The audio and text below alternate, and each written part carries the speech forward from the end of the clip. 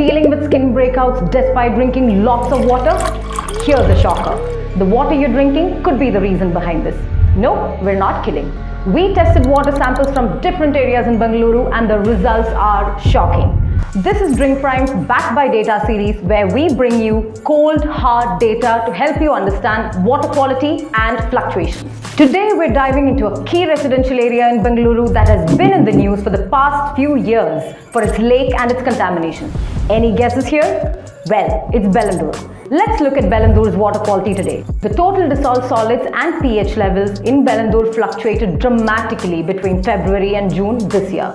In February, right before the onset of summer, the TDS level was at 667 ppm, while in June it hit 830 ppm. But what is the connection between TDS and your skin?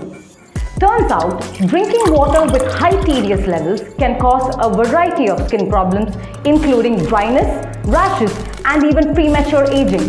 So, if you are staying in Bellandur, chances are that the water you're drinking and washing your face with could be causing your skin problem. Wondering how you can solve this? That's where DrinkPrime steps in. Our IoT-enabled customized water purifiers provide you with perfectly purified water considering your area's fluctuating water quality. You can not only drink but also use DrinkPrime water to wash your face because it's 100% safe and maybe even avoid some premature aging too. So, care for your friends and family members in Bellandur? Share this video with them. Want us to cover any other area in Bengaluru? Leave them in the comments below.